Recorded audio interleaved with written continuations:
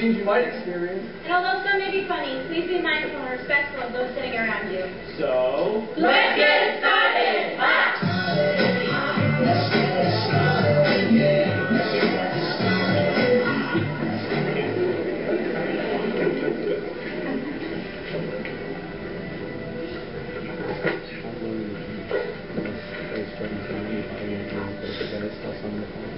Excuse me? Yes? Is this room 214? Yes. Can I help you? Ellison? Ellison Jones?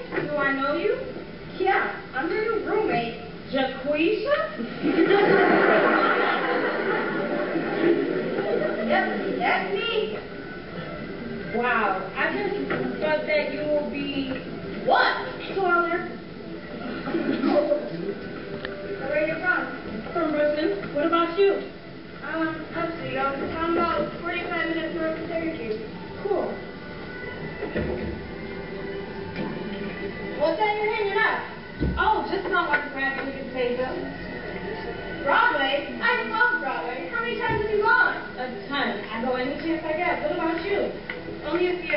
It's hard for me to get down in the city. Well, hey, if there's a long weekend, you should come home with me. Yeah, We could catch one. that'd be great.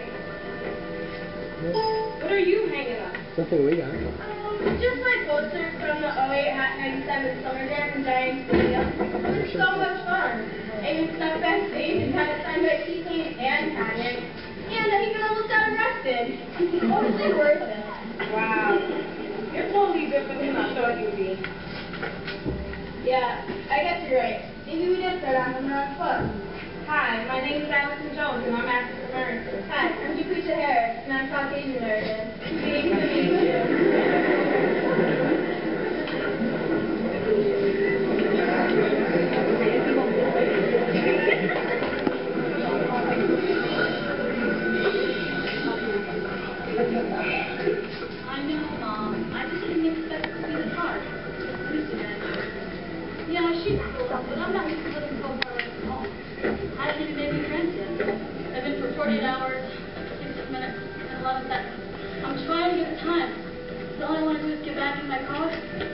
Home. Uh, I gotta go, Mom. I'll call you too. Bye. Hey, are you okay? What's wrong? Nothing's wrong. I'm okay. There.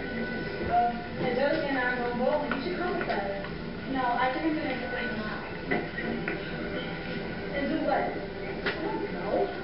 If you then anything I just need some time alone. Whatever.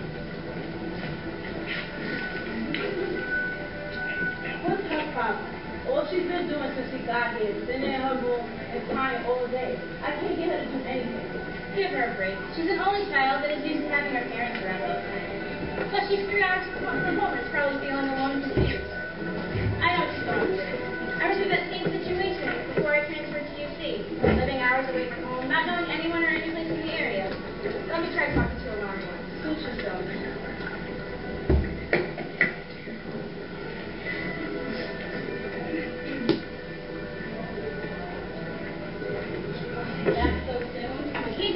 I'm concerned for you. Why don't you come with us? You can't that's the last thing we talked. I know it's wrong because I've been in your shoes before, but I know you're Florida. You're homesick. It's okay to feel alone, but the more you reach out to others the more you get involved, the more friends you'll meet. And they're the ones that'll take this whole experience and make it positive for you. And help you make memories that'll last a lifetime. Don't turn away from people like me or CC or the RA.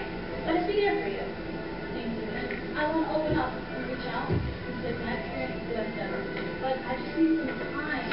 Well, I'm ready to talk whenever you are. I just have two questions for you, Lee. What is your favorite food and what is your favorite movie? Random, but being from Buffalo, I love chicken wings. And Anchorman, it was Here, that's settled. Change of plans.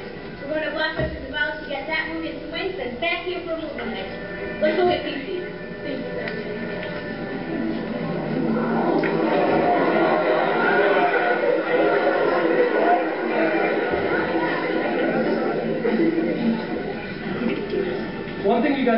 guys can look forward to about starting college, other than getting a degree, is making new friends. Take me, for example. I'm a commuter, and I never had much time for friends because I was always watching my little brother. But I knew college, that was going to be my time. Yeah, I was nervous. Who wouldn't be? So many thoughts running through my head, like, what if no one likes me? Meeting people for the first time. And of all the people that come to college, somebody has to like me and want to be my friend, right? Anyways, one day I was walking through Strebel, and all these flyers on the wall, and one caught my eye. It was for intramural sports. I've always loved sports, but I never really wanted to be part of the team, so I decided, I'll, I'll give it a shot. It was awesome. I, I had a blast. I met a whole bunch of new people, even some people in my major. It was so much easier to make conversation with those I knew I had something in common with. After a few days, this girl I met, Rebecca, hmm. be interested in Prestige, and I was pumped because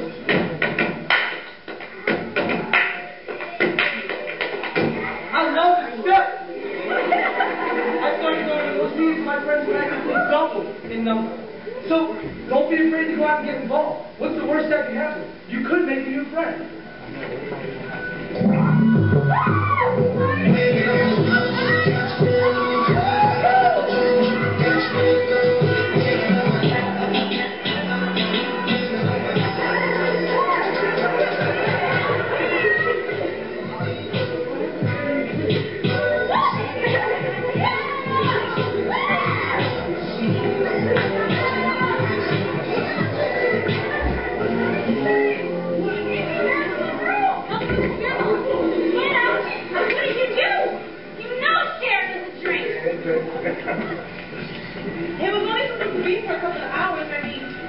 Papers aren't until Monday.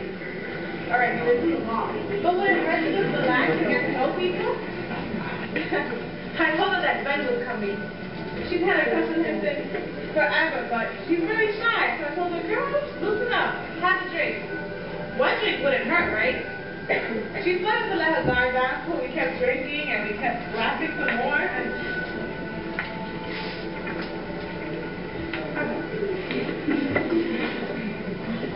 She wanted to talk to Ben, but now she was getting sloppy. She was bumping into people and yelling. We thought it was funny, and we figured she was fine until until. But what, what was I supposed to do?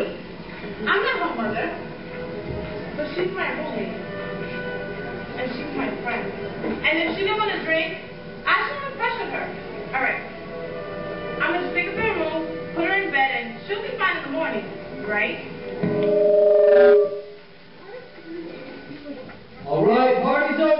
everyone's ID.